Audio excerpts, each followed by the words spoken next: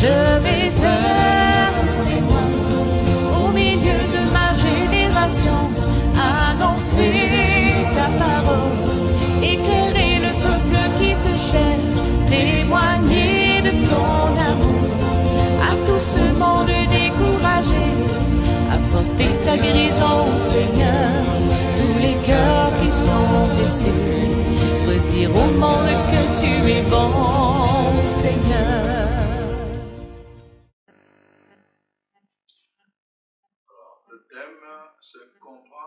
de la médiation de Jésus. Bien-aimés dans le Seigneur, je vous salue au nom puissant de notre Seigneur Jésus-Christ, notre seul médiateur, tel qu'il est dans la parole de Dieu. Alors, euh, j'espère que vraiment vous êtes en santé du corps, de l'âme et de l'esprit. Euh, je bénis le Seigneur pour vous. Je bénis le Seigneur pour la grâce qu'il nous donne tous ensemble en ces temps-ci, vraiment de nous laisser affermir par sa parole pour faire de nous une génération de guerriers. Nous devons vraiment nous préparer à la guerre. Il ne s'agit pas d'une guerre comme en Ukraine, mais il s'agit d'une guerre à un autre niveau, vous me comprenez. Alors donc, euh, vraiment, soyez vigilants, euh, vraiment, éveillez-vous. Il y a une guerre qui se prépare et nous devons nous préparer à cette guerre-là. Alors donc, euh, nous avons un avantage vraiment qui est déjà un atout, c'est vraiment c'est que Jésus a tout accompli pour nous. Il a déjà accompli notre victoire. Il a déjà accompli, il suffit simplement que nous soyons synchronisés à tout ce qu'il a fait pour que vraiment nous puissions nous aussi bénéficier et marcher dans la même victoire comme celle qu'il a obtenue pour nous. Alors donc aujourd'hui, je voulais vous parler de la puissance de la médiation de notre Seigneur Jésus-Christ. La puissance de la médiation de Jésus-Christ. C'est important que nous puissions comprendre ce que la Bible nous dit. Je vous ai déjà dit dans beaucoup de mes enseignements que Dieu soutient toutes choses par sa parole. Et c'est la parole de Dieu qui doit nous donner l'éclairage. C'est la parole de Dieu qui doit eh, apporter la lumière quand il y a des confusions dans des enseignements. C'est la parole de Dieu qui doit venir nous donner l'assurance quand il y a des doutes dans tout ce que nous apprenons, tout ce que nous recevons. La parole de Dieu. Et voilà pourquoi, comment je vais vous donner la parole de Dieu pour vous donner l'assurance euh, de ce nom qui nous a été donné, qui a été élevé au-dessus de tout nom, dans le ciel, sur la terre, sous terre, pour qu'au nom de Jésus, que tout être humain puisse être sauvé et que tout esprit fléchisse les genoux et proclame sa souveraineté. Dieu l'a établi comme médiateur. Voilà pourquoi nous devons vraiment prendre le temps de comprendre euh, consiste la médiation de Jésus-Christ. Chers amis, chers frères et sœurs, vous le savez, dans le monde naturel, euh, dans beaucoup de pays, dans beaucoup d'organismes, euh, souvent les gens vont recourir à une recommandation. Ils vont recourir à une médiation humaine, un ami, une personne influente, n'est-ce pas, pour accéder à un poste, pour accéder à, à un privilège.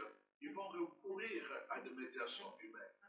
Ils vont recourir, n'est-ce pas, à des intermédiaires. Et la parole de Dieu nous parle aussi pour nous, les enfants de Dieu, justement de cette médiation. Nous le voyons à travers la Bible. Tout le monde a couru à cette médiation. Autant, vraiment, nous voyons dans l'ancien, donc dans le début, n'est-ce pas, du ministère de Jésus-Christ, comment euh, tous ces gens, euh, les docteurs de la loi et tout- toutes ces personnes venaient tout le temps à Jésus pour s'instruire et pour demander la lumière du ciel à travers lui. Nous voyons euh, aussi comment sa mère, euh, Marie, n'est-ce pas, va venir recourir à la médiation de Jésus pour résoudre un problème à Cana. Alors donc, c'est important que nous puissions comprendre la puissance de cette médiation. Quand nous recourons à la médiation de Jésus, il y a une puissance qui se dégage. Parce qu'il apporte la lumière, il apporte la solution à nos problèmes, comme il a fait à Cana, avec, euh, pas, quand on a fait recours à sa médiation. Donc je vous voulais vous parler de cela pour que vraiment vous soyez assurés qu'est-ce que la parole de Dieu nous dit de Jésus-Christ et de sa médiation. Et que vous aussi vous puissiez recevoir, ou plutôt expérimenter la puissance que Dieu a mise dans le nom de Jésus à cause de tout ce qu'il a accompli sur la croix pour vous et pour moi.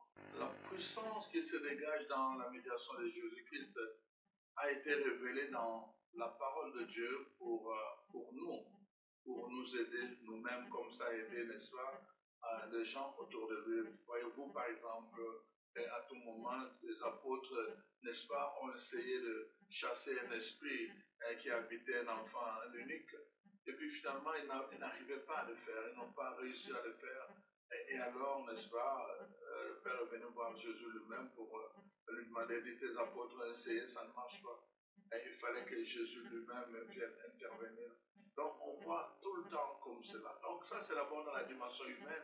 Mais je voulais vraiment vous élever dans une autre dimension pour que vous puissiez vous en rendre compte et que vous puissiez ne plus jamais, jamais, jamais manquer de faire recours à cette médiation. Alors donc, d'abord, pourquoi le besoin de la médiation? Nous avons besoin de la médiation aujourd'hui parce qu'il y a une rupture qui a été faite entre nous, les humains, et notre Dieu. Nous le savons au commencement, quand Dieu a créé Adam et Ève, la parole de Dieu nous dit, ils avaient une compréhension, une vue claire de Dieu. Ils pouvaient voir Dieu dans cette dimension de l'esprit. Ils pouvaient parler avec Dieu dans cette dimension de l'esprit. Donc, ils pouvaient être en compagnie de Dieu. Ils le ressentaient, ils le voyaient. Donc, c'était facile pour eux. quand vous regardez dans, dans le livre de la Genèse, vous ne voyez pas la place de la religion. C'était plus nécessaire. Ils vivaient déjà dans une communion avec Dieu. Tout ce que Dieu leur demande, ce n'est même pas de prier. Dieu leur demande de prendre soin du jardin. Donc, voyez-vous, c'est vraiment, la communion était intense qu'ils n'avaient pas besoin de prier. Il n'y en a pas dans, le livre de Genèse. On ne parle pas de prière, on parle de, veiller sur le jardin de Dieu. Parce que Dieu voulait faire de ces jardins un modèle, n'est-ce de village pour les humains. Alors donc, euh, malheureusement, voyez-vous, l'ennemi s'est infiltré et Adam et Ève se sont laissés d'abord, euh, n'est-ce pas, Ève qui, qui s'est laissée, comment je vais dire, tentée par Satan et qui a entraîné naturellement et, qui ça, et Adam. Bon, enfin, les deux ont été pris dans cette complicité dans le mal, alors donc ils ont assumé tous les deux, n'est-ce pas? Et alors en faisant ça, ils ont désobéi à Dieu. Ils ont désobéi à Dieu. Donc c'est là que le problème des humains va commencer. Voyez-vous? Problème des humains va commencer là. Une rupture va se faire. Dieu va chasser Adam et Ève du jardin d'Éden. Il va les chasser de la vision béatifique. Donc, à partir de ce moment, on nous dit la souffrance va commencer. Pourquoi? Parce que quand on s'éloigne de Dieu, hein, il y a une souffrance. Quand on est sous la protection de Dieu, c'est vraiment le paradis. Alors, ils ont perdu cette vie de paradis et ils se sont éloignés de Dieu. Maintenant, ils savaient qu'ils ne pouvaient pas vivre sans Dieu. Comment entrer en relation avec Dieu? On le voit donc à travers, après le péché, n'est-ce pas? Parce que cette communion a été brisée, alors l'homme devrait souffrir il devait souffrir. Il a commencé à chercher Dieu par tous les moyens. Hein, donc, euh, même si la Bible dit que Dieu, qui en réalité n'était pas loin de chacun de nous, mais l'homme devait le chercher par tous les moyens. Alors, à cause de cela, l'homme a commencé à multiplier, n'est-ce pas, les sacrifices. Pour invoquer la présence de Dieu, il fallait des sacrifices. Alors commence toute une série de sacrifices, des sacrifices structurels, des sacrifices individuels. Donc, euh, tout ça, n'est-ce pas, pour aller rechercher, n'est-ce pas, la miséricorde de Dieu, la faveur de Dieu, les gens devaient faire des sacrifices. Alors on voit là maintenant, tout le, après la chute va commencer le temps des sacrifices. Chacun des offrandes, n'est-ce pas, le prémices, les animaux, et même parfois, dans certaines traditions, ils vont commencer à sacrifier leur premier fils. Donc, tout ça pour chercher la faveur de Dieu. Alors qu'au commencement, on n'en avait pas besoin. Alors donc tout ça que je, le répète pour vous montrer pourquoi nous avons besoin. Nous avons besoin d'une médiation. On n'en avait pas besoin au commencement. Alors donc, euh, puis finalement, Dieu lui-même va choisir de venir établir, n'est-ce pas, son ordre au milieu de son peuple. Et alors, il va lui-même révéler, n'est-ce pas, à ces gens d'établir un ordre par lequel il va agir et intervenir. Donc, nous, on va avoir le prophète, le prêtre, le roi. chacun va intervenir dans une dimension particulière. Le prophète va être comme le porte-parole de Dieu. Le prêtre va, va être celui justement qui euh, offre des sacrifices pour invoquer la faveur de Dieu. Le roi va établir la justice dans le partage, dans la sécurité, pas, pour manifester la force de Dieu. Un Dieu puissant qui protège son peuple. Dieu va se servir de toutes ces catégories pour manifester sa présence au milieu de son peuple. Et puis finalement, comme dit la parole de Dieu, quand le temps fut accompli, Dieu choisit de venir lui-même habiter au milieu de son peuple. Il va prendre le nom d'Emmanuel, Dieu avec nous. Dieu avec son peuple, Dieu au milieu de son peuple, présent au milieu de son peuple, pour leur parler. Pourquoi? Premièrement, il voulait prendre la nature humaine, parler des langage humains, pour leur révéler Dieu.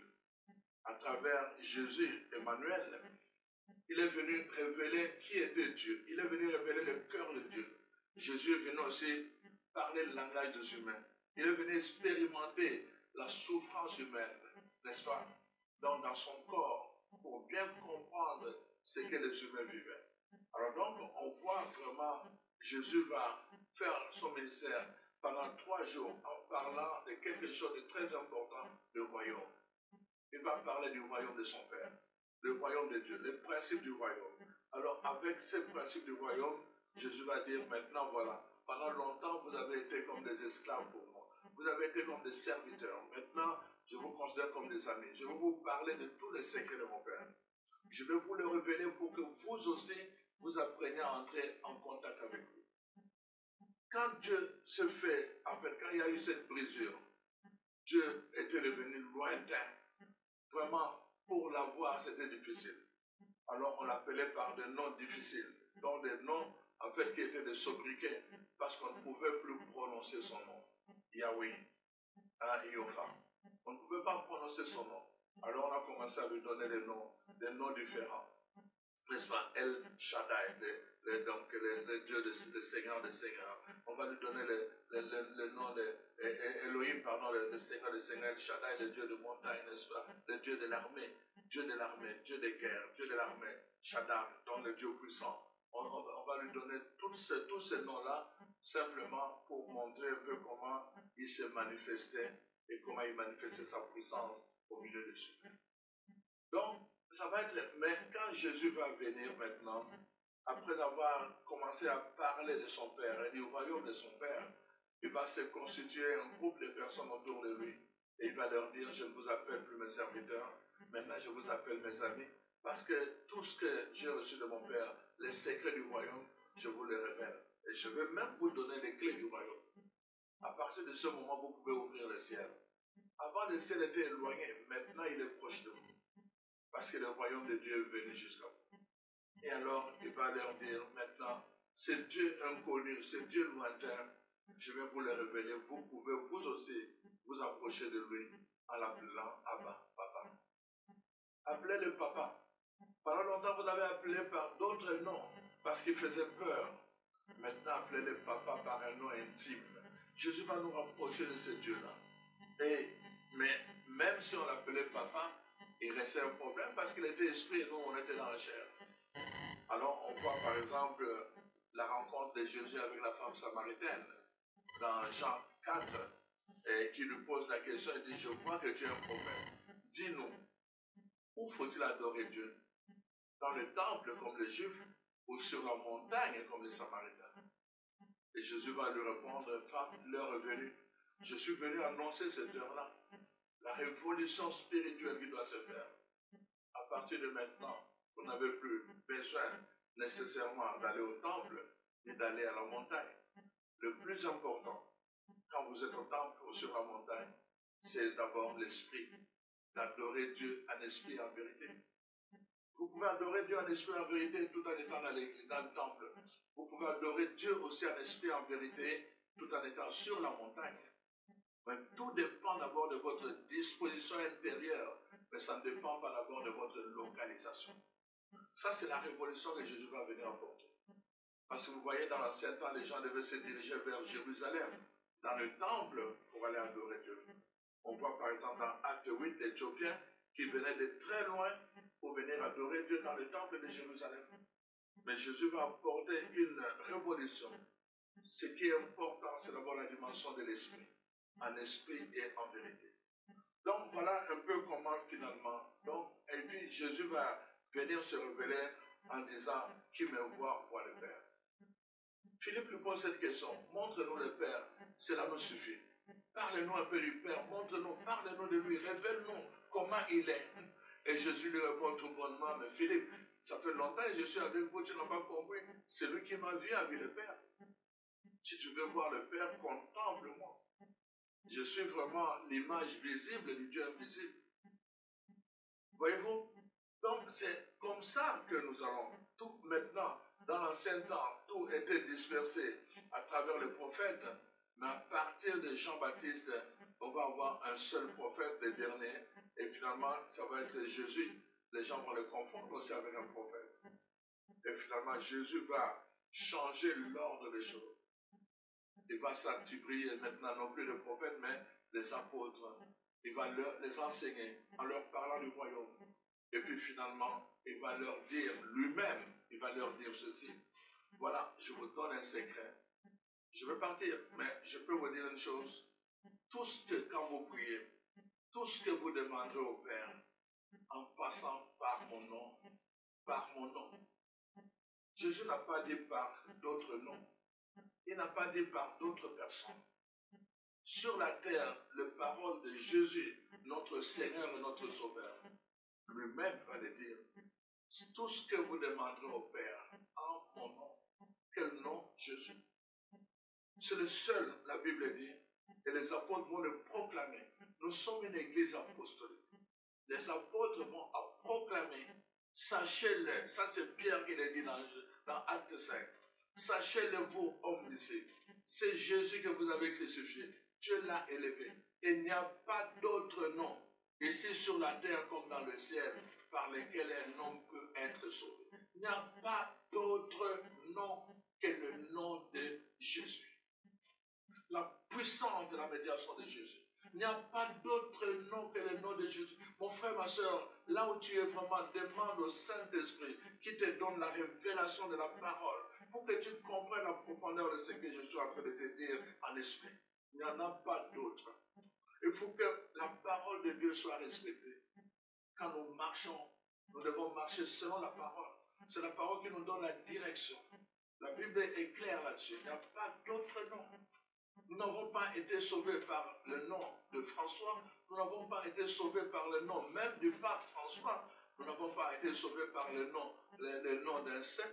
pas du tout. Nous avons été sauvés par le nom de le seul dans le ciel, sur la terre et sous terre, un seul nom qui a été élevé, qui a été doté de pouvoir, d'autorité par lesquels les hommes doivent être sauvés. La parole de Dieu dit, la Bible dit, c'est le nom de Jésus. Personne ne peut contredire cette parole. C'est une parole qui sort de la bouche des apôtres après l'effusion du Saint-Esprit. Ils sont remplis du Saint-Esprit quand ils disent cette parole. Donc, c'est important que nous comprenions et que nous puissions enseigner la parole de Dieu. Voilà pourquoi j'ai choisi de vous parler de la parole de Dieu. Et alors, donc, nous voyons maintenant, à cause de cela, la parole nous montre comment les choses vont se passer. Donc, parce que l'homme ne pouvait pas, n'est-ce pas, résoudre le problème. Le problème ici, c'est quoi? C'est que même dans l'histoire du peuple de Dieu, quand le peuple va commencer à faire des sacrifices, Dieu lui-même va prendre le devant pour dire maintenant, je vais constituer mon peuple. Et alors, à partir de ce moment, il dit à Moïse, il choisit Moïse pour le tirer des eaux. Il est choisi pour faire sortir son peuple de l'Égypte quand il s'est souvenu de son alliance. Remarquez maintenant, dans le livre de l'Exode, la parole de Dieu nous montre comment, dans le livre de l'Exode, euh, à plusieurs reprises, Dieu va se manifester à Moïse et il va lui dire, je vais parler à mon peuple. On peut voir à partir de l'Exode 19. Euh, Dieu veut parler à son peuple, mais avec dans une nuée, dans des éclairs. Le peuple a peur. Quand Moïse vient dire au peuple, voilà, Dieu veut vous parler. Le peuple dit ceci. Non, nous ne voulons pas nous approcher de lui. Toi, va, va parler avec lui et tu viendras nous dire ce qu'il t'a dit. L'être humain est toujours tenté, toujours tenté à vouloir créer d'autres médiations que la médiation que Dieu lui-même prépare. Dieu veut parler directement à son peuple, mais le peuple ne veut pas parler directement à son Dieu. Il préfère passer par Moïse, par un homme. Cette tentation n'est pas d'aujourd'hui, ça date de longtemps. On a peur de s'approcher de Dieu. On a peur vraiment de parler avec Dieu. A dit, c'est votre papa. Si Dieu est notre papa, pourquoi nous avons besoin d'autres personnes pour nous approcher de notre papa? Franchement, moi j'ai besoin d'un ami pour que je puisse parler à mon père. Non, répondez-moi. Vous avez besoin d'un ami pour parler à votre père? Ça n'a vraiment pas de sens. Jésus nous dit, c'est votre papa. C'est votre papa. Vous avez besoin de quelqu'un pour parler à votre papa. Arrêtons avec du n'importe quoi. c'est très important que nous puissions comprendre. Le peuple, Dieu dit, je veux parler à mon peuple. Moïse dit, Dieu veut vous parler. Il dit, non, pas, à nous directement, qu'il parle à toi et toi tu veux nous parler. L'intermédiaire. Il veut des intermédiaires. Alors que Dieu veut communiquer avec son peuple. Et alors nous voyons, à cause de cela, voyez-vous, il y a eu des dangers, il y a eu des erreurs, il y a eu beaucoup, beaucoup de déviations. Voici ce que la parole de Dieu nous dit dans le livre de Romains chapitre 1. Nous sommes dans la parole de Dieu. Romains chapitre 1. Alors, Romains chapitre 1, à partir du verset 18 Voici la parole de Dieu dit, la colère de Dieu se révèle du haut des cieux contre toute impiété et toute injustice des hommes qui retiennent injustement la vérité captive, car ce qu'on peut connaître de Dieu est manifeste pour eux Dieu le leur a fait connaître. Ce qu'on peut connaître de Dieu, Dieu lui-même le leur a fait connaître. Pourtant, même si Dieu leur a fait connaître ce qui est manifeste de lui, voici ce qui va arriver. La parole de Dieu dit, n'est-ce pas? En effet, il manifeste donc que Dieu leur a fait connaître. En effet, la perfection invisible de Dieu sa puissance éternelle et sa divinité se voient comme à l'œil depuis la création du monde.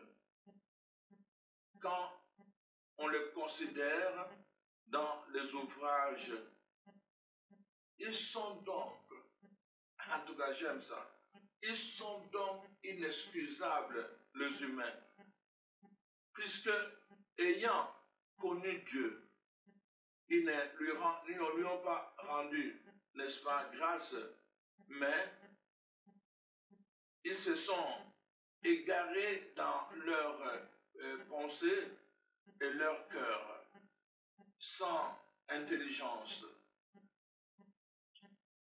Ils ont plongé dans les ténèbres, se vantant d'être sages, ils sont devenus fous et ils ont changé la gloire du Dieu incorruptible en image représentant l'homme corruptible, des oiseaux, des quadrupèdes et des reptiles. C'est pourquoi Dieu les a livrés à l'impureté selon le convoitise de leur cœur, en sorte que ils déshonorent eux-mêmes, ils se déshonorent eux-mêmes leur propre corps. Ils ont changé, eux qui ont changé la vérité de Dieu en mensonge et qui ont adoré et servi la créature au lieu du Créateur qui est béni éternellement. Amen. Voici ce que la parole de Dieu dit. Quand l'être humain n'a plus de contact avec Dieu, alors il commence à créer des choses. Il commence à créer et il tombe dans l'idolâtrie. Donc, c'est vraiment la parole de Dieu, on nous met en garde. quand l'être humain ne veut pas avoir un contact direct avec son Dieu, il tombe dans l'idolâtrie. Il va chercher des intermédiaires, des intermédiaires, des intermédiaires de toutes sortes, de sortes même qu'il tombe dans l'idolâtrie. Voyez-vous, au lieu d'adorer Dieu, de lui rendre l'honneur qui lui convient, ils vont commencer à adorer des créatures. Voilà les drames de notre monde aujourd'hui. Voilà pourquoi, chers frères et sœurs, je pense qu'il est important d'aborder cette question. Alors, Jésus est venu pour résoudre cette question, n'est-ce pas, de, la relation de l'être humain avec Dieu. Cette relation qui a été brisée, cette harmonie qui a été brisée, Jésus est venu pour la restaurer, n'est-ce pas? Il est venu pour permettre aux humains de pouvoir de nouveau voir Dieu, n'est-ce pas? De pouvoir le toucher, de pouvoir le contempler, de pouvoir l'expérimenter, mais aussi pour qu'il puisse s'approcher de lui. Voyez-vous, c'est pour cela son nom va être Emmanuel, Dieu avec nous. Il sera le chemin, la vérité et la vie, le chemin. Donc, qui, donc si on veut marcher dans la vérité, c'est le chemin que nous devons prendre. On, on dit le chemin, on ne dit pas un chemin. C'est pas un chemin, le chemin. Ça dit qu'il n'y en a pas d'autre. C'est ça que ça signifie en français. Il n'y en a pas d'autre. C'est pour ça qu'on dit le chemin. Alors donc, le chemin, la vérité, la vérité et la vie. Il n'y a pas d'autre vérité que vous devez aller chercher. La vérité est là. Alors donc, c'est très important, chers frères et sœurs, que nous puissions le dire. Et son nom va être significatif. Parce que Jésus, Yeshua, signifie Dieu sauve. Donc, en lui-même, tout est là. Le nom est significatif, le nom confirme sa mission.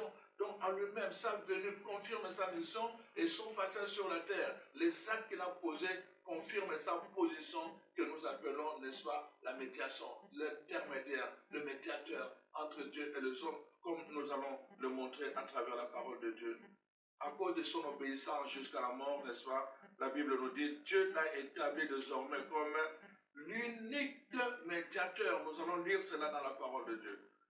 Dieu l'a établi comme l'unique médiateur. Son nom a été élevé au-dessus de tout nom, de tout pouvoir, de toute autorité, de toute domination, de toute, euh, n'est-ce pas, euh, euh, principauté.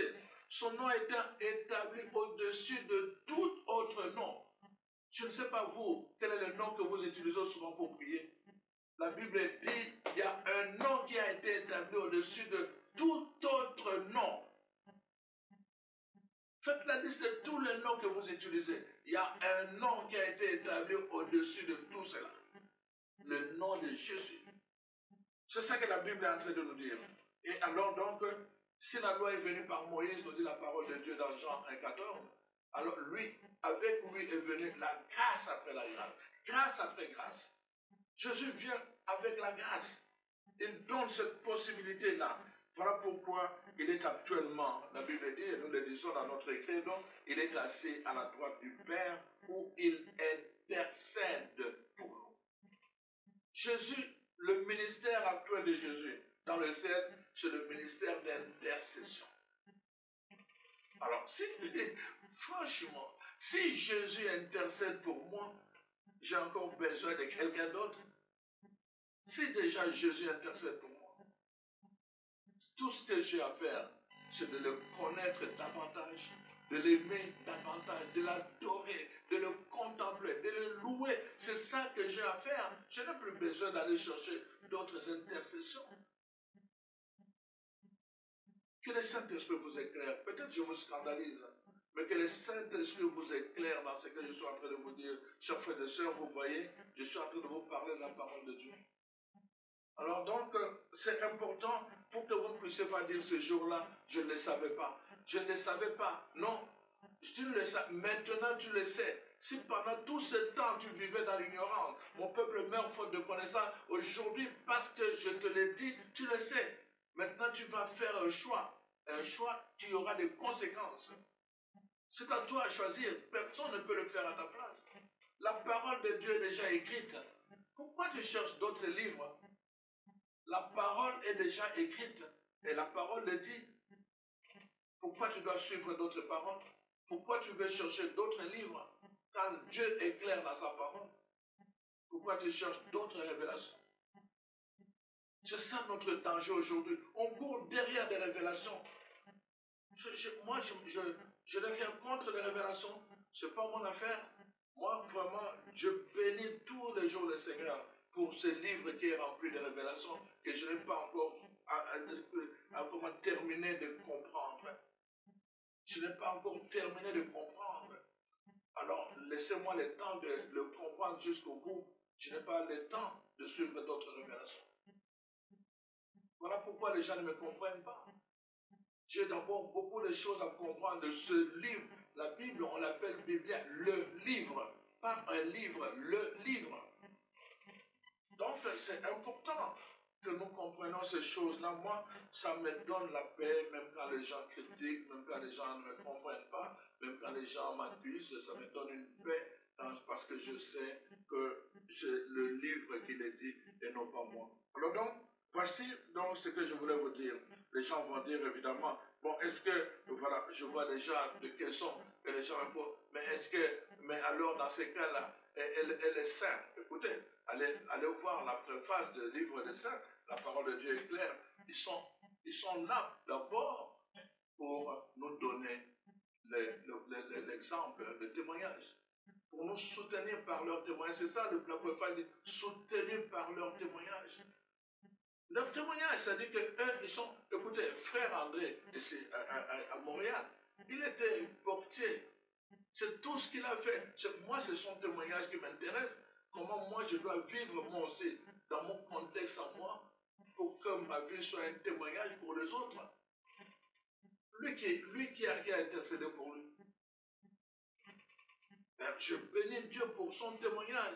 Il, il me donne, quand je lis sa vie, je dis, waouh, cet homme n'avait pas beaucoup de choses intellectuellement. Pourtant, il a fait beaucoup de choses. Il a laissé un témoignage, euh, euh, euh, comment l'oratoire Saint-Joseph qui est là. C'est un grand témoignage. C'est pour dire aux gens que vous n'avez pas besoin d'être tout le temps intellectuel pour réaliser des grandes choses. Il n'était pas intellectuel, il a réalisé des grandes choses. Moi, c'est ce que j'aurais fait de cet homme qu'on appelle Saint-Frère André. Alors donc, voyons dans la parole de Dieu des textes qui montrent un peu, je ne parle pas juste de la médiation, de, mais l'unique médiation de Jésus-Christ. Voyez-vous, nous commençons d'abord, je vais commencer par Romains 5, et puis après je vais aller dans le livre des Hébreux qui nous en parle de façon explicite. Romains 5, 1 à 2 dit ceci. Nous qui sommes devenus justes par la foi, nous voici en, paix avec Dieu par notre Seigneur Jésus-Christ, lui qui nous a donné par la foi l'accès à cette grâce dans laquelle nous sommes établis. Et nous mettons notre fierté dans l'espérance d'avoir part à la gloire de Dieu. Lui qui nous a donné par la foi l'accès. L'intermédiaire, c'est ça son rôle. Il nous donne par la foi l'accès. Et c'est ça le rôle de Jésus. Il nous donne accès au salut. Parce que c'est son rôle. Son nom signifie Dieu sauve. Moi, je ne peux pas vous donner le salut. Parce que moi, ce n'est pas mon rôle. Moi, je ne peux que vous éclairer. Voyez-vous, on dit dans le, proverbe de chez nous, quand je vous montre le doigt, si tu regardes mon doigt, moi, tu ne verras pas ce que je te montre. Je dis, voici la lune. mon doigt donne la direction, mais mon doigt n'est pas la lune. Ça donne la direction que la lune est de ce côté-là. Tu dois te tourner vers la direction pour voir la lune. Tu ne dois pas te tourner vers mon doigt parce que tu ne verras pas la lune. Je ne vois pas la lune dans mon doigt. Voyez-vous? C'est ça, notre travail, c'est de montrer la direction. Jean-Baptiste est venu, il a dit, voici l'agneau de Dieu qui ôte le péché du monde. Les gens n'ont pas regardé le doigt de Jean-Baptiste, ils ont regardé l'homme qui était en train de faire des va-et-vient et ils l'ont suivi. Les apôtres de Jean-Baptiste l'ont abandonné et ils ont suivi Jésus. Notre rôle est de révéler Jésus. Mais le salut, je n'ai aucun pouvoir pour vous donner le salut. Qui suis-je moi Moi-même, je suis en train de chercher mon salut. Donc, voyez-vous, mais la parole de Dieu dit, Jésus, lui, a le pouvoir de nous donner accès à cette grâce dans laquelle nous sommes établis. Parce qu'il est, son nom signifie Dieu sauve. Donc voilà un peu ce que la parole de Dieu nous dit. Alors dans la Galate maintenant, chapitre 3, verset 19 à 20. Pourquoi donc la loi? Elle a été donnée ensuite à cause de transgressions. Voyez-vous, la loi été donnée parce qu'il y avait beaucoup de transgressions, jusqu'à ce que vint la postérité à qui la, la promesse avait été faite. Elle a été promulguée par des anges au moyen d'un médiateur. Or, le médiateur n'est pas médiateur d'un seul, tandis que Dieu est seul. Donc, maintenant, avant c'était la loi, la grâce vient par le moyen d'un médiateur. Et nous allons voir qui est ce médiateur. Maintenant, dans 1 Timothée 2, versets 4 à 7. Voici, la parole de Dieu dit, Dieu qui veut que tous les hommes soient sauvés et parviennent à la connaissance de la vérité, car il y a un seul Dieu et aussi un seul médiateur entre Dieu et les hommes. Jésus-Christ homme. C'est là le témoignage rendu en, en son propre temps pour lequel j'ai été établi prédicateur et apôtre. L'apôtre Paul témoigne. Il commence par dire, il n'y a qu'un seul Dieu. Nous ne pouvons pas changer cette vérité-là. Il n'y a pas d'autre Dieu, il n'y a qu'un seul Dieu. Ça, c'est que la parole de Dieu nous dit. On ne peut pas jouer avec ces mots. On ne peut pas jouer avec cette vérité. Il n'y a qu'un seul Dieu. Dans le même texte, la parole de Dieu ajoute, et il n'y a qu'un seul médiateur. Nous ne pouvons pas non plus jouer avec cette phrase. Parce que c'est dans le même texte. Si nous touchons au médiateur, nous allons toucher aussi à Dieu. La Bible dit qu'il n'y a qu'un seul Dieu et il n'y a qu'un seul médiateur. Alors c'est très important, chers frères et sœurs. C'est dit dans le même texte pour montrer la force que la médiation est mise en lien avec Dieu. Entre Dieu et les hommes, un seul médiateur. Nous ne pouvons prendre plusieurs chemins. Il n'y a qu'un, le chemin. Nous devons prendre ce chemin-là qui conduit vers la vie. Un chemin qui est la vérité.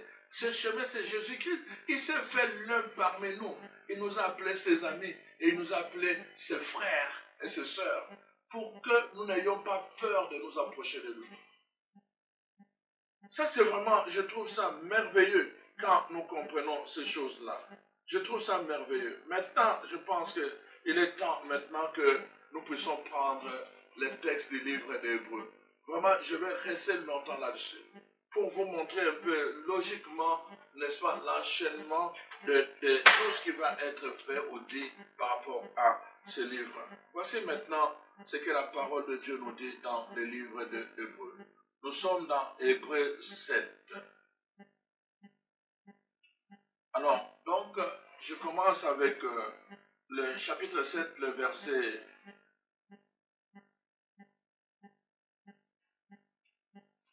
Alors, chapitre 7, verset 18.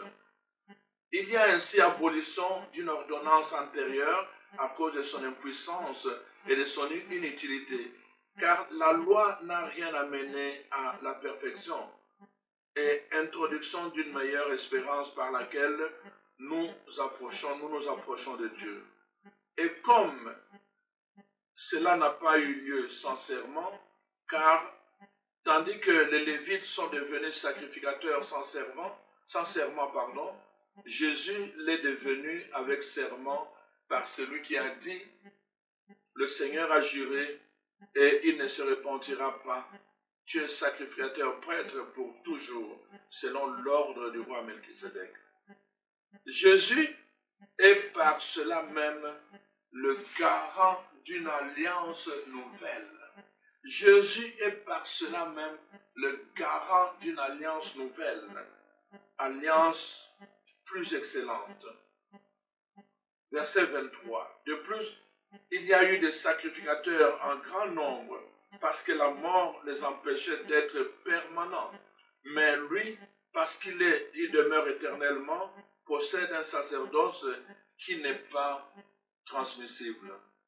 C'est ainsi, c'est aussi pour cela qu'il peut sauver parfaitement tous ceux qui s'approchent de Dieu. Jésus peut sauver parfaitement tous ceux qui s'approchent de Dieu par lui, étant toujours vivant pour intercéder en leur faveur. On nous montre le rôle de Jésus dans la médiation comme un rôle d'intercession.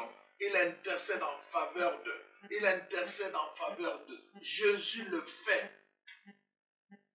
Jésus intercède. Alors, le verset 8 maintenant, le chapitre 8 maintenant dit, le point capital de ce qui vient d'être dit, c'est que nous avons un tel souverain sacrificateur qui s'est assis à la droite du trône de la majesté divine dans les cieux comme ministre du sanctuaire du, et du véritable tabernacle et qui a été dressé par le Seigneur et non par un homme. Donc Jésus n'est pas seulement un médiateur, mais il est aussi un sacrificateur. Et ça, c'est merveilleux de le savoir. Voyez-vous, les autres n'ont pas ce titre-là. Les autres, parfois, on va s'en servir, on va faire recours à eux. Mais ils n'ont pas, ils n'ont pas la reconnaissance d'être autant médiateur qu'un sacrificateur. Et Jésus seul Jésus est à la fois médiateur. Il est reconnu, nous l'avons dit, n'est-ce pas, dans la parole de Dieu précédente, comment Jésus, n'est-ce pas, est reconnu comme médiateur. Il est l'unique médiateur entre Dieu et les hommes. Mais il est aussi, la parole de Dieu dit aussi, il est le grand sacrificateur, le grand prêtre, donc qui intercède en faveur de siens. Voilà pourquoi nous avons besoin, n'est-ce pas, de comprendre hein, ces choses-là. Alors maintenant, nous allons voir dans Hébreu 9, verset 15 d'abord, ensuite nous allons prendre le verset 23 jusqu'au verset 26. Le verset 15 commence comme ceci. C'est pour cela qu'il est le médiateur d'une nouvelle alliance, afin que la mort étant intervenue pour le rachat des transgressions commises sous la première alliance, ceux qui ont été appelés reçoivent l'héritage éternel qui leur a été promis. Jésus est le médiateur de la nouvelle alliance. Nous, nous faisons partie de la nouvelle alliance. Nous, nous ne sommes pas de l'ancienne alliance qui est dirigée par la loi. Nous sommes de la nouvelle alliance qui est dirigée par la grâce. Et cette grâce est venue avec Jésus. C'est pour cela que la Bible dispose. Dieu lui-même a fait de lui l'unique médiateur. Autant il n'y a qu'un seul Dieu, autant il n'y a qu'un seul médiateur entre Dieu et les hommes. Et non pas seulement il est médiateur de la nouvelle alliance, mais il est aussi le grand prêtre qui intercède en faveur de nous. Donc, voici, alors maintenant le verset 23. Il était donc nécessaire, puisque les images des choses qui sont dans le ciel, le ciel devaient être purifiées de cette manière, et que les choses célestes elles-mêmes le fussent par des sacrifices plus excellents que ceux-là. Car Christ n'est pas entré dans un sanctuaire fait de mains d'hommes en imitant du véritable, mais il est entré dans le ciel même afin de comparaître maintenant pour nous devant la face de Dieu, de comparaître pour nous il est allé au ciel afin de comparaître pour nous devant la face de Dieu. La Bible dit Satan est un accusateur et Jésus comparé pour les siens devant la face de Dieu. Quand Satan nous accuse, Jésus prend son manteau et nous couvre et dit Père, regarde-le à travers mon manteau. Regarde-le à travers l'œuvre de ma croix. Et Dieu manifeste sa miséricorde quand nous appartenons à Jésus-Christ. Et ça, c'est une merveille. La Bible le dit. Donc, il se tient devant le Père, devant la face de Dieu, pour comparaître pour nous, en notre faveur. Et ce n'est pas pour s'offrir lui-même plusieurs fois qu'il lui entré, mais comme le souverain sacrificateur entre, entre chaque année dans le sanctuaire avec du sang étranger. Autrement, il aurait fallu qu'il eût souffert plusieurs fois depuis la création du monde. Tandis que maintenant, à la fin des siècles, il est paru une seule fois pour abolir les péchés par son sacrifice. Quelle belle nouvelle. Donc, voyez-vous, et alors, le chapitre 10 maintenant nous donne maintenant les conséquences de, cette, de cet acte de médiation et d'intercession. Jésus comme médiateur et Jésus comme les grands prêtres, les grands sacrificateurs. Voici les conséquences de son acte maintenant. Voici. Ainsi donc, Hébreu 10 à partir du verset 19 jusqu'au verset 25. Ainsi donc, frères, puisque nous avons au moyen du sang de Jésus une libre entrée dans le sanctuaire par la route nouvelle et vivante, la route nouvelle et vivante qu'il a inaugurée pour nous au travers du voile, c'est-à-dire de sa chair. Et puisque nous avons un souverain sacrificateur établi sur la maison de Dieu, approchons-nous maintenant. Voyez-vous, verset 22, approchons-nous avec un cœur sincère dans la plénitude de la foi, le cœur purifié d'une mauvaise conscience et le corps lavé d'une eau pure. Retenons fermement, je reviendrai là-dessus, retenons fermement la profession de notre espérance, car celui qui a fait la promesse est fidèle. Veillons, ça ce sont les conséquences. Donc la profession, nous devons continuer à professer notre foi. Veillons maintenant, autre conséquence, veillons les uns sur les autres pour nous exciter à la charité et aux bonnes œuvres. Au niveau entre nous, parce que nous avons un seul médiateur, parce qu'il est là, nous l'avons compris, nous sommes entrés en communion avec lui, et que nous savons qu'il intercède pour nous en faveur, en notre faveur, devant la face du Père. Entre nous, nous pouvons nous, soutenir, nous consoler. C'est exactement ce que nous avons à faire. Donc, et, la parole de Dieu continue en disant, n'abandonnez pas, hein, n'est-ce pas, notre assemblée comme c'est la coutume de quelques-uns, mais exhortons-nous réciproquement, et cela d'autant plus que vous vous, approchez, euh, vous voyez approcher le jour. Donc, pendant le, message clé, c'est celui-ci, parce que Jésus a, a, ouvert, a déchiré le voile. Et que à cause de cela, il nous a permis maintenant, vous et moi, comme dans l'Ancien Testament, Moïse a demandé à Dieu. Dieu a dit, bon, maintenant, mets une limite. Mets une limite, une frontière où le peuple ne peut pas franchir. Mais après, maintenant, il dit, bon, toi, tu peux venir avec les sacrificateurs. Mais Dieu lui-même dit, mais je vais descendre pour parler au peuple. Et le peuple dit, non, nous ne voulons pas que Dieu nous parle. Toi, va parler avec lui et viens nous dire ce qu'il va te dire. La même chose.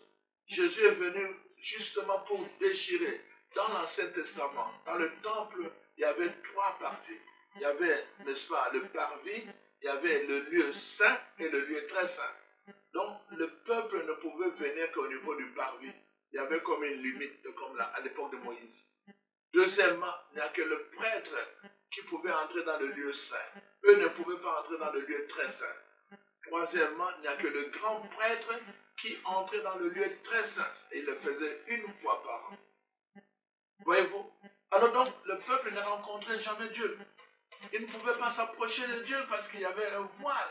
Le, le lieu très saint avait un voile très lourd. Les gens ne pouvaient pas, quand le grand prêtre entrait là-bas, il devait avoir des sonnettes parce que parfois certains mouraient là-bas, en présence de Dieu.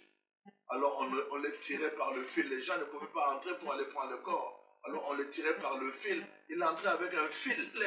Il entrait avec un fil pour entrer dans le lieu très saint. C'était la peur. Jésus vient, il déchire ses barrières.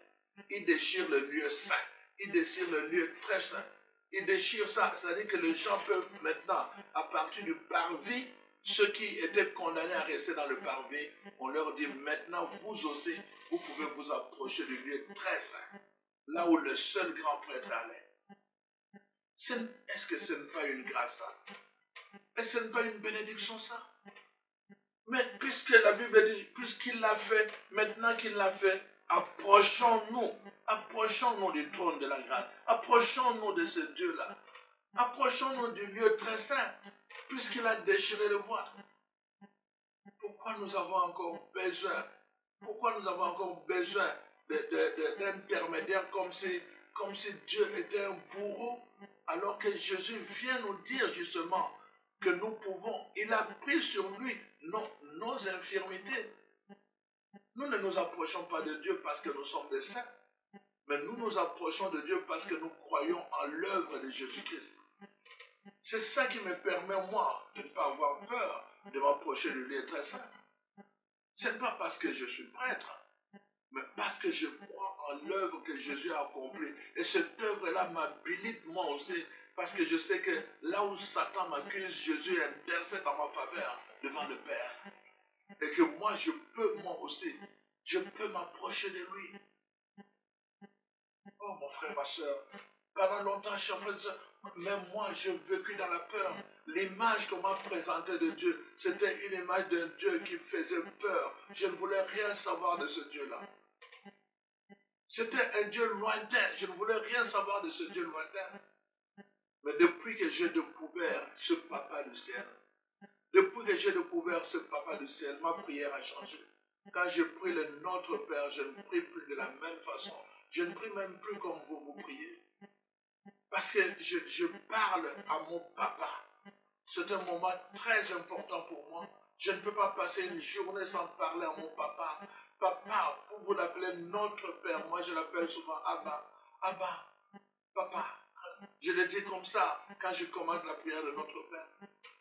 Vous vous dites notre Père qui est aussi. Moi, je ne prie pas comme ça. Je dis Papa, Abba.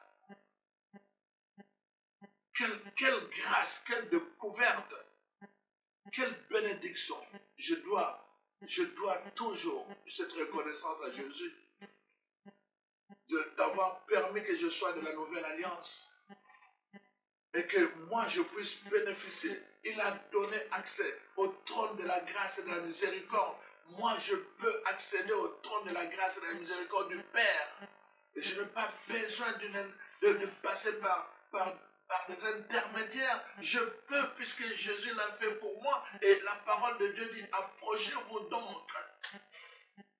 En d'autres termes, tout est fait maintenant, approchez-vous donc. La Bible est remplie des excuses. Des gens qui trouvent des excuses. On va appeler cet homme. Ah bon, qu'est-ce qu'il faut faire pour entrer dans le royaume de Dieu? Ah bon, écoute, euh, tu connais le commandement. Oui, je connais tout ça. Bon, maintenant que tu connais tout ça, fais ceci. Vends, vends signifie débarrasse-toi de certaines choses et suis-moi. Et on nous dit, l'homme qui voulait le salut est allé tout triste. Quel drame. Les gens aiment beaucoup courir derrière des enseignants. Mais quand arrive le moment de prendre la décision face à la vérité, ils ne sont plus capables. Ils retournent toujours tristes, comme cet homme. Et sûrement, ça va être votre cas sûrement. Mais, comme je vous dis, vous pouvez avoir des excuses aujourd'hui, mais vous ne l'aurez plus. Parce que vous avez eu la malchance d'écouter cet enseignement. Vous n'aurez plus d'excuses. Vous l'avez écouté, vous n'aurez plus d'excuses. Vous avez un choix à faire. Continuez à niaiser comme ça tout le temps, à perdre votre, Dieu veut, Dieu veut prendre du plaisir à vous écouter. Il veut prendre du plaisir à, vous voir en sa présence. C'est ça que Dieu veut. Il veut que nous puissions nous tenir. Pourquoi tu as besoin que quelqu'un d'autre aille parler à ta place? Et Dieu veut t'écouter toi.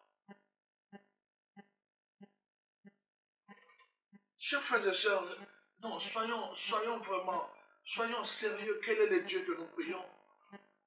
Quel est le Dieu que nous prions? Quelle est l'image que nous projetons? Et pendant ce temps, nous voulons que les gens viennent nous suivre, que les gens viennent écouter, viennent et, rencontrer notre Père que nous-mêmes, nous avons peur d'affronter. Parce que nous nous, nous nous, jugeons indignes. Qui a dit qu'on s'approchait de Dieu parce qu'on était digne? Jésus lui-même dit, je ne suis pas venu pour les dignes. Je suis venu pour les indignes. Je ne suis pas venu pour les gens en bonne santé, je suis venu pour les malades. Jésus lui-même le dit, toi tu es plus que Jésus, tu es plus que Dieu. Voyez-vous pourquoi Jésus s'acharnait derrière ces gens qu'on appelait les pharisiens? Il tordait, il tordait la parole de Dieu qui était libérée pour eux, pour leur salut. Il se mettait à tordre inutilement. L'heure est venue. Voyez-vous J'aime beaucoup la parole de Dieu. Et peut-être je ne vais pas vous prendre beaucoup de temps.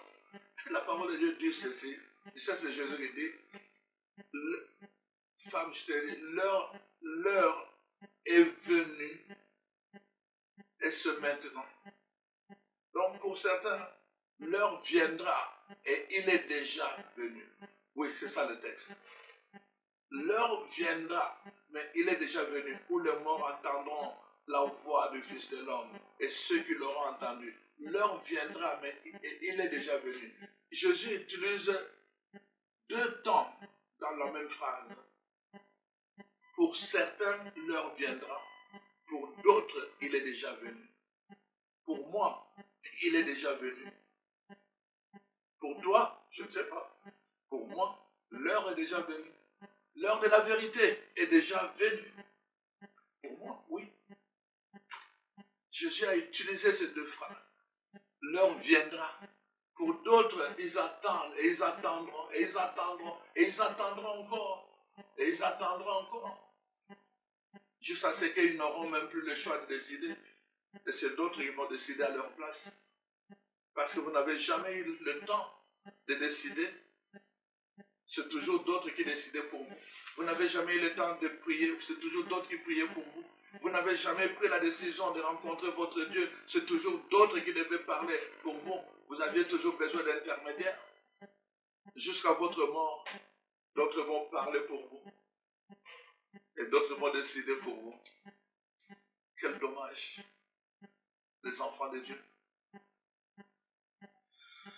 Il est temps. L'heure est venue, chers frères et sœurs. La vérité doit, doit nous engager à un choix. Où nous marchons selon la parole de Dieu, ou nous marchons selon la parole des hommes. C'est votre choix. Faites votre choix. Moi, je fais ma part, et puis euh, je vous ai donné ce que la parole de Dieu nous dit. Il n'y a pas d'autre voie de salut que Jésus-Christ. Il n'y a pas d'autre médiation que Jésus-Christ. Ce n'est pas moi qui l'ai dit, vous l'avez entendu. C'est la parole de Dieu qui l'a dit. Il n'y a pas d'autre voie d'intercession. La, la, la, parfaite que ce que Jésus fait comme ministère auprès du Père pour nous. Moi, personnellement, je crois à la médiation de Jésus-Christ. Moi, je crois que Jésus est le grand souverain qui a donné sa vie pour moi. Sur la croix, il est mort pour me reprocher parce qu'il a déchiré le voile. Moi, maintenant, je peux me rapprocher de ce Dieu qu'il est venu révéler et qu'il a dit, vous, quand vous, allez le prier, appelez-le papa. Je prends du plaisir tous les jours à appeler ce Dieu que Jésus m'a révélé comme papa. Et je bénis toutes les personnes qui sont passées sur cette terre et qui ont accompagné Jésus.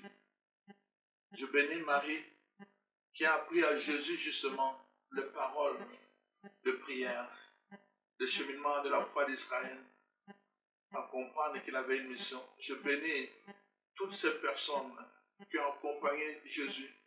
Je bénis aussi les personnes qui ont écouté Jésus, qui ont marché avec lui.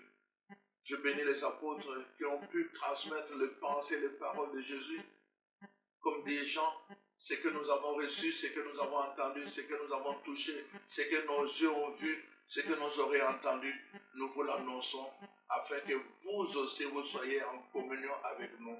Et j'en termine en disant, notre communion est avec Dieu le Père et avec son Fils Jésus-Christ. Avec son Fils Jésus-Christ, le seul médiateur entre Dieu et les hommes, le seul intercesseur devant la face du Père. Dieu est Jésus-Christ. Dieu est son Fils Jésus-Christ. Alors donc, moi, c'est le message que je voulais vous donner. Alors je prie Dieu, Seigneur Jésus, tu es venu sur la terre. Tu es venu nous révéler le visage du Père. La parole dit que tu es l'image visible du Dieu invisible. Je te prie aujourd'hui, Seigneur, toi qui t'es révélé aux apôtres pour les affermir dans la foi, viens nous révéler, viens te révéler à nous, viens te révéler à tous ces frères et sœurs qui écoutent ce message, pour qu'ils puissent vraiment comprendre la puissance de l'œuvre de la croix. C'est par ta vie, c'est par ta mort, c'est par ta résurrection que tu as accompli l'œuvre du salut et du rachat pour l'humanité. Ô Seigneur Jésus, je t'en prie, Viens nous restaurer dans cette relation que tu es venu établir entre la terre et le ciel, entre les hommes et leur Père, leur Dieu. Tu es venu pour que justement toutes les barrières qui nous empêchaient de nous approcher de ce Père soient bannies. Tu es venu pour briser toutes les excuses de la peur, du doute, ou parfois même de, de, l'auto-jugement qui nous rend indignes de nous approcher. Tu es venu, tu as pris sur toi nos indignités, tu les as assumées sur la croix pour nous permettre de nous approcher du trône de la grâce. Je te prie, Seigneur Jésus, par la puissance de ton Esprit Saint, viens nous restaurer dans la vérité de ta parole et que ton Esprit nous ressuscite comme il t'a ressuscité pour que nous aussi, nous puissions, nous, puissions devenir cette nouvelle génération capable de marcher sur le chemin que tu es, dans la vérité que tu es, et recevoir la vie que tu es venu nous donner. Nous le demandons en ton nom, Seigneur Jésus, toi l'unique médiateur entre le, entre le Père et nous les humains, toi notre grand sacrificateur, toi qui es vivant avec le Père et le Saint-Esprit. Amen. Amen. Amen. Alors soyez bénis, chers frères et sœurs. J'espère euh, vous revoir euh, très prochainement. Dans l'entretemps, je vous soumets à la grâce de Dieu. Merci.